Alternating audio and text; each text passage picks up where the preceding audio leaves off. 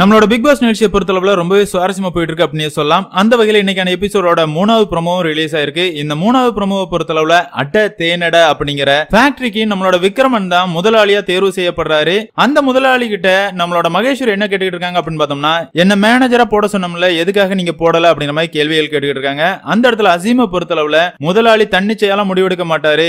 Workers எல்லாருமே சேர்ந்து என்ன முடிவை சொல்றோமோ அந்த முடிவை தான் எடுப்பாரு அப்படிங்கிற மாதிரி ஆர்கியூ பண்ணிட்டு இருக்காரு. மகேஸ்வரியை பொறுத்தளவுல நான் உங்ககிட்ட பேசல முதலாளி கிட்ட தான் பேசுறேன் அப்படிங்கிற மாதிரி சொல்லிட்டு இருக்காங்க. அந்த இடத்துல அசீமை பொறுத்தளவுல கத்தி பேசுறாரு. நானும் உங்ககிட்ட பேசல. முதலாளி கிட்ட தான் பேசிட்டு இருக்கேன் அப்படிங்கிற மாதிரி சொல்றாரு. அந்த இடத்துல விக்ரமன் என்ன சொல்றாரு அப்படின்னு பார்த்தோம்னா அசீம் இவ்வளவு கத்தி எல்லாம் பேசாதீங்க. கொஞ்சம் அமைதியா பேசுங்க அப்படிங்கிற மாதிரி அசீம் சொல்றாரு. மகேஸ்வரி கிட்ட என்ன சொல்றாரு அப்படின்னு பார்த்தோம்னா என் மேலதான் தவறு இருக்குது. நான் தான் அந்த இடத்துல இன்ஃபுளுன்ஸ் ஆகி இந்த முடிவு எடுத்துட்டேன் அப்படிங்கிற மாதிரி சொல்றாரு. அதுக்கப்புறமா கார்டன் ஏரியால நம்மளோட கதிரவன் மகேஸ்வரி விக்ரமன் பேசுறத காட்டுறாங்க. அந்த இடத்துல மகேஸ்வரி என்ன சொல்றாங்க அப்படின்னு பார்த்தோம்னா எல்லா முடிவுமே அவனோட முடிவா தான் இருக்கணுமா? அவன் முடிவுல தான் நம்ம எல்லாருமே விளையாடணுமா எப்பவுமே இவன் இப்படிதான் விளையாண்டுட்டு இருக்கான் அப்படிங்கிற மாதிரி சொல்லிட்டு இருக்காங்க. அந்த இடத்துக்கு வர அசீமை பொறுத்தளவுல விக்ரமன்ட்ட என்ன சொல்றாரு அப்படின்னு பார்த்தோம்னா நான் இந்த டீம்லயே இல்ல. இந்த டீம்ல இருந்து நான் போறேன். எனக்கு பதிலா நீங்க யார வேணாலும் சேர்த்துட்டு விளையாடுங்க அப்படிங்கிற மாதிரி சொல்லிட்டு போறாரு. அந்த இடத்துல நம்மளோட மகேஸ்வரி என்ன சொல்றாங்க அப்படின்னு பார்த்தோம்னா எல்லா டாஸ்க்லயுமே இவன் இதே வேலையை தான் பாத்துக்கிட்டு இருக்கான். போன டாஸ்க்லயும் இதே மாதிரி தான் பண்ணா ஆனா கமல் சாரை பொறுத்தளவுல என்னமோ நான் பண்ணதான் தப்பு அப்படிங்கிற மாதிரி எண்ணிய கண்டிச்சாரு.